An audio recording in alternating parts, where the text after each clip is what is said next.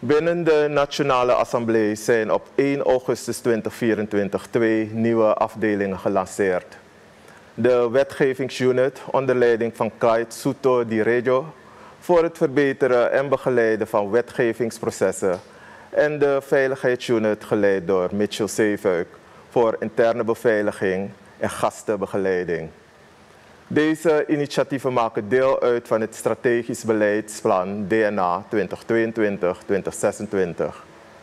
Voorzitter B benadrukte het belang van professionaliteit en voorbeeldig gedrag van het veiligheidspersoneel.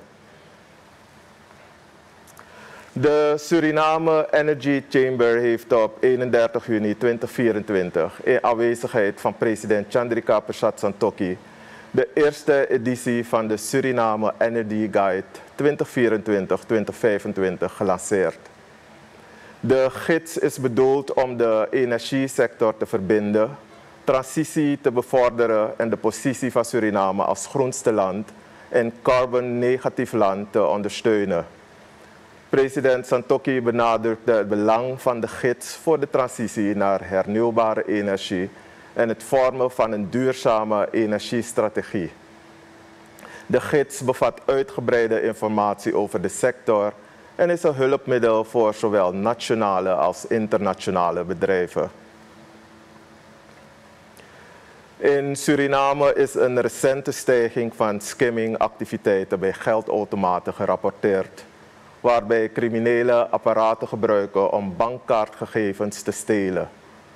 Het Suriname Cybersecurity Incident Response Team onderzoekt meldingen van dergelijke activiteiten in Paramaribo.